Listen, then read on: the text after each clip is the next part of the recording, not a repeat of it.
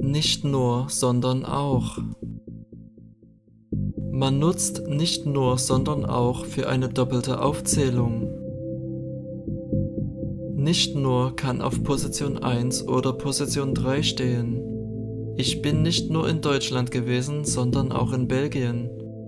Nicht nur bin ich in Deutschland gewesen, sondern auch in Belgien. Ich habe nicht nur das Haus geputzt, sondern auch die Garage. Sie hat nicht nur ihr Geld verloren, sondern auch ihren Reisepass. Deine Antwort war nicht nur falsch, sondern auch sehr verletzend. Nicht nur er, sondern auch ich sind davongerannt. Ich möchte nicht nur Schwedisch, sondern auch Norwegisch lernen.